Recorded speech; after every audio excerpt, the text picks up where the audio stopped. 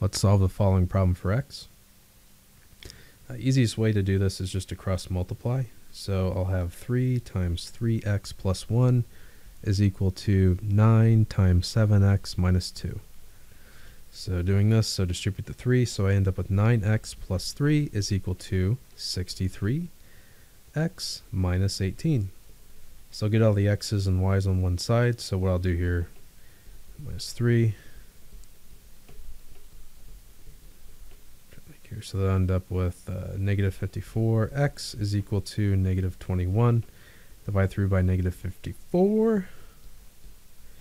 And we end up with um, X is equal to, oops, uh, 21 over 54, which can be reduced to um, 17. 7. Okay, so that ends up being X is equal to 7 over 17. That's it.